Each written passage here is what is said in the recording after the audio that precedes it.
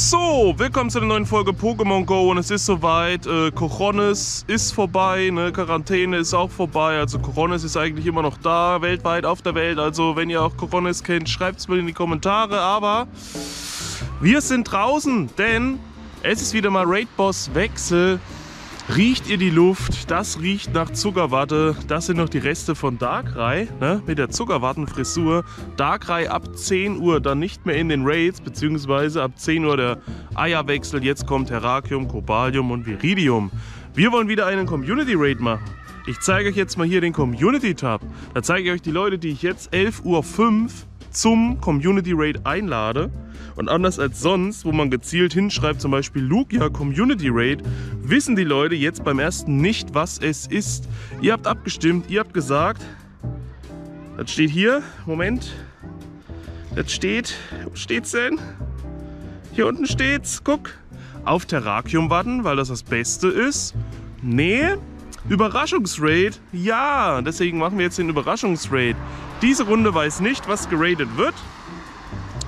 Die zweite und dritte Runde weiß es dann, denn dann muss ich ja, wenn ich auf die zwei anderen gehen will, kann ich nicht einfach hin und kann dann gucken, wie die äh, äh, äh, und so weiter. Jetzt hast du mich aus dem Konzept gebracht, denn das ist Pupsi.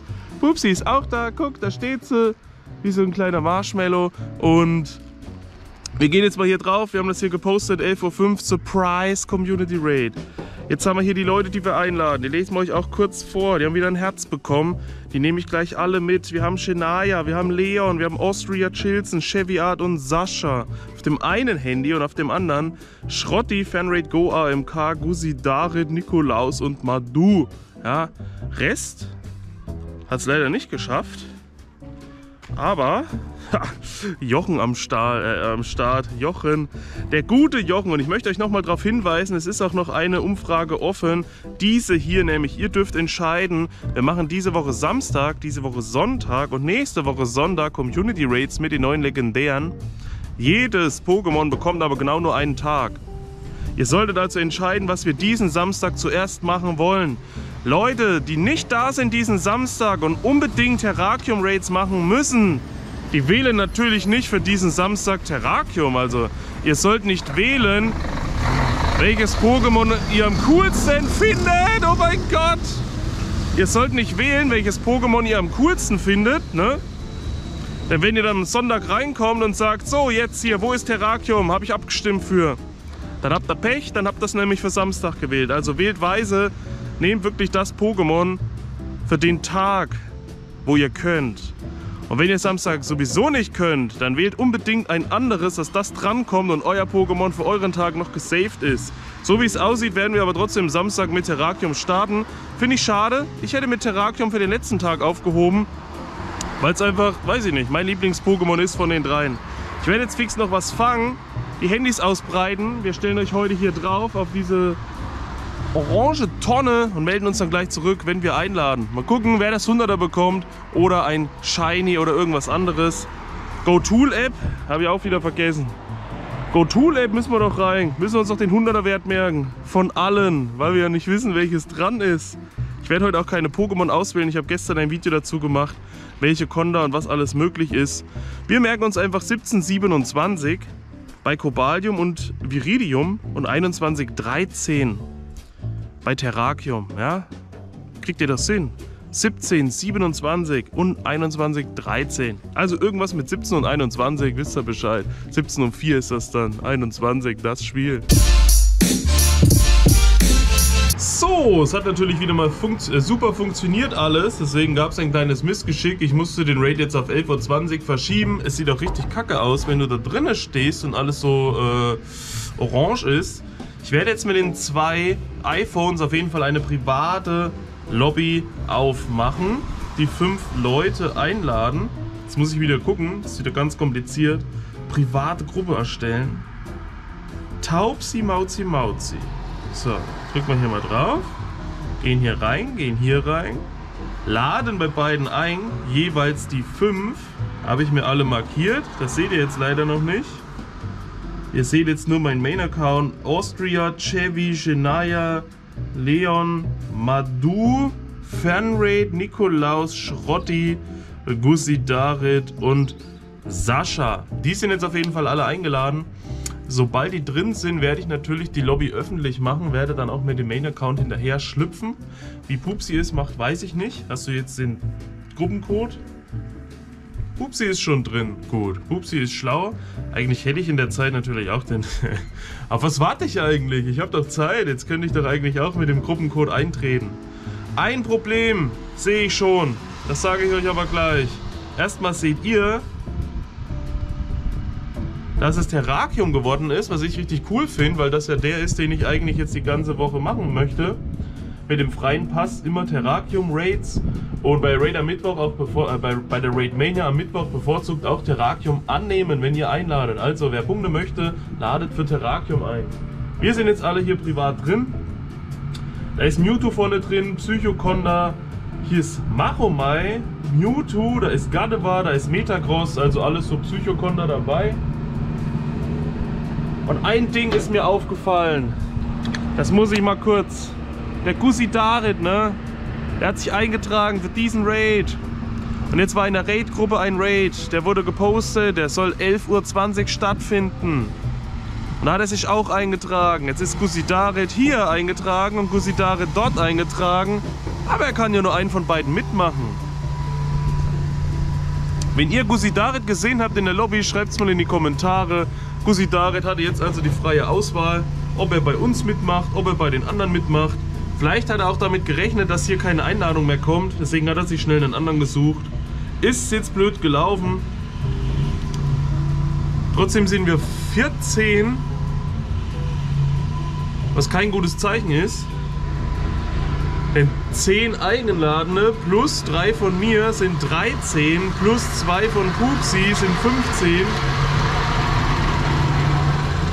Dann ist das Zeichen eigentlich doch gut. Ihr seht, ich kann nicht rechnen. Das heißt, es würde eigentlich nur einer fehlen. Aber vielleicht ist genau dieser eine Gusi darin. Dann ist das alles erklärbar. Das ist aber auch das Gute, weil wenn Gusi Darit in der Fünfer-Truppe, wo er sich eingetragen hat, nicht mitmacht, dann sind die ja wieder weniger. Was schlimmer ist, weil man ja die Level nicht kennt.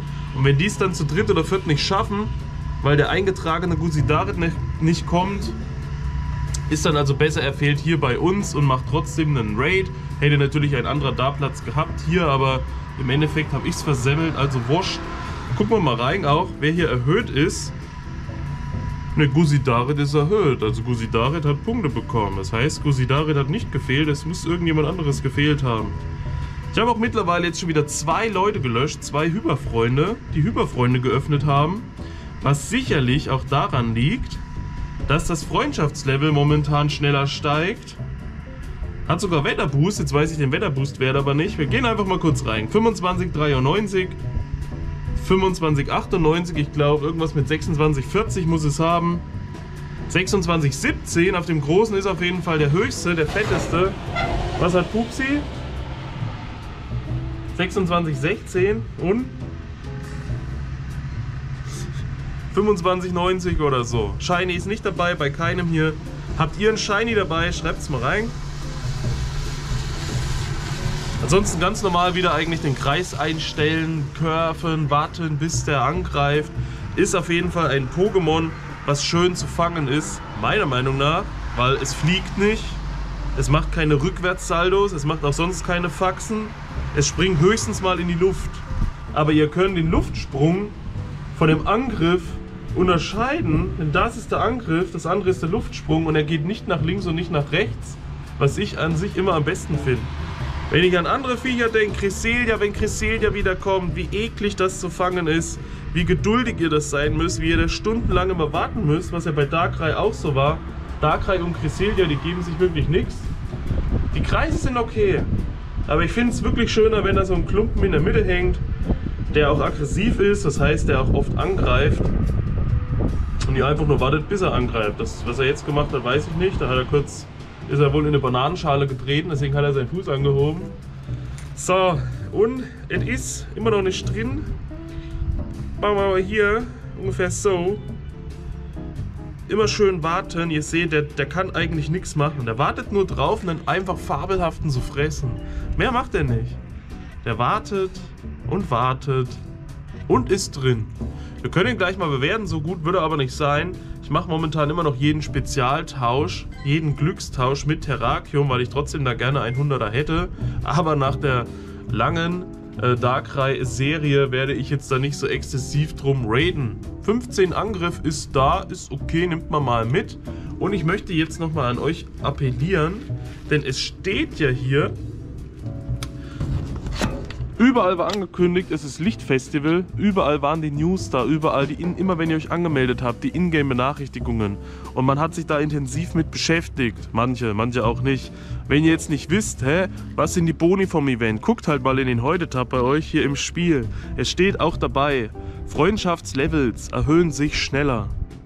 Wundert euch also nicht, wenn ihr sagt, hä, wieso hast du mich gelöscht? Da stande zwei Tage, ich habe aufgemacht und dann hast du mich einfach rausgenommen, da war doch noch ein Tag übrig.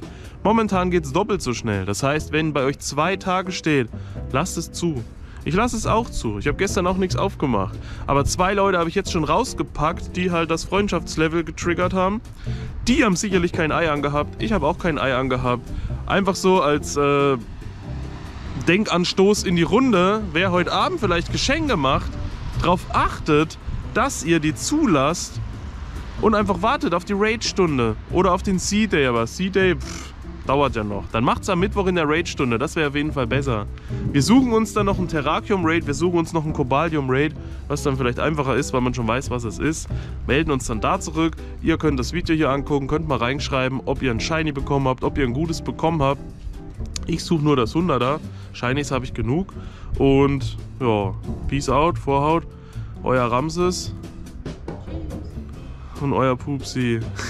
Das ist nicht euch, das ist mir. Tschüss.